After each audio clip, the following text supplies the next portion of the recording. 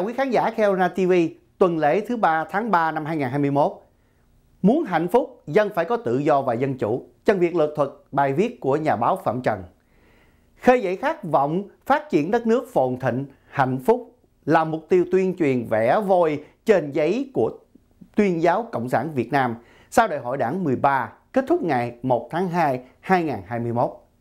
Những chiếc bánh vẽ ghi trong văn kiện đảng đề ra viễn ảnh một đất nước Việt Nam đến năm 2025, kỷ niệm 50 năm giải phóng hoàn toàn miền Nam, thống nhất đất nước Việt Nam, vân vân, có công nghiệp theo hướng hiện đại, vượt qua mức thu nhập trung bình thấp, tức thu nhập mỗi đầu người từ 876 đến 3.465 Mỹ Kim một năm.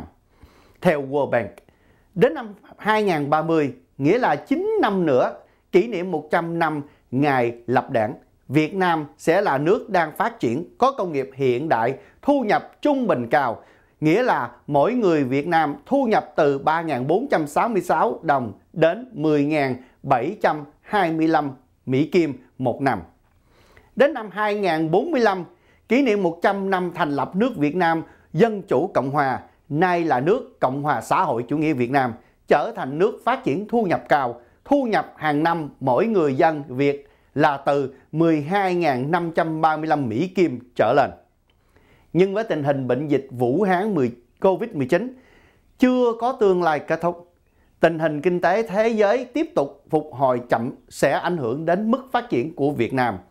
Vì mức độ phát triển của kinh tế của Việt Nam lệ thuộc phần lớn vào đầu tư từ nước ngoài nên theo World Bank, lợi tức đồng niên trên mỗi người Việt Nam vào đầu 2021 là 3.758 Mỹ Kim. Nhưng tính về GDP bình quân đầu người thì con số của Việt Nam cực kỳ khiêm tốn. World Bank viết, Singapore có GDP bình quân đầu người trên 58.000 đô, Brunei trên 23.000 đô, Malaysia trên 10.000 đô, Thái 7.300 đô, Indonesia 4.000 đô. GDP bình quân đầu người của Việt Nam năm 2020 chỉ cao hơn được nước Lào và Campuchia và Myanmar, Miến Điện. So với thế giới thì GDP của người Việt Nam chỉ bằng 40% mức trung bình toàn cầu, 20% mức trung bình của khu vực ASEAN và 5% mức trung bình của các nền kinh tế có thu nhập cao. Việt Nam sẽ mất khoảng 30 năm để đạt được GDP bình quân đầu người hiện nay của Hàn Quốc và 10 năm để đạt được như Trung Quốc, theo tài liệu World Bank. Vậy mà Bộ trưởng Thông tin Truyền thông Nguyễn Mạnh Hùng vẫn nổ vắng mặn rằng lần đầu tiên khát vọng Việt Nam được đưa vào văn kiện Đại hội đảng báo chí phải khơi dậy và nuôi dưỡng khát vọng tạo thành sức mạnh tinh thần cho đất nước bức phá vươn lên, sức mạnh đó không kém gì sức mạnh của cải vật chất.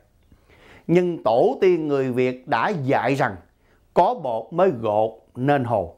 Do đó muốn tuyên truyền phải có bằng chứng thì nói người ta mới nghe theo. Nhưng báo chí lấy cái gì để khơi dậy và nuôi dưỡng khát vọng?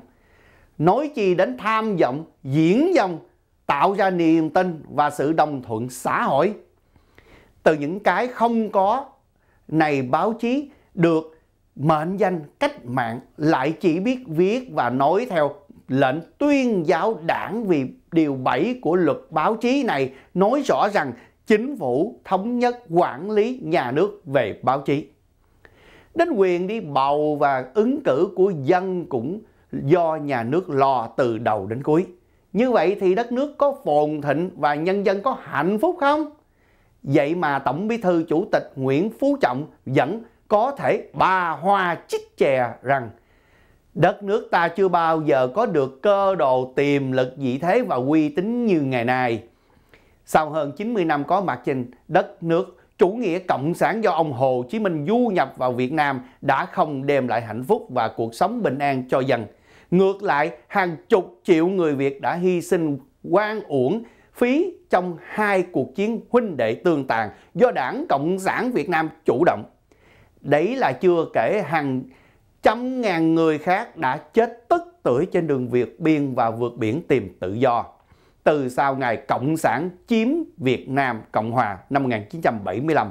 Vì vậy khi người Việt lần đầu tiên trong lịch sử phải bỏ nước Việt ra đi, không phải vì đói nghèo mà vì họ đã mất tự do và quyền làm chủ đất nước. Do đó, phồn thịnh và hạnh phúc chỉ thành hiện thực khi nào các quyền tự do và dân chủ được bảo đảm và tôn trọng trên đất nước Việt Nam. Trân trọng kính chào Chân Việt Carolina TV.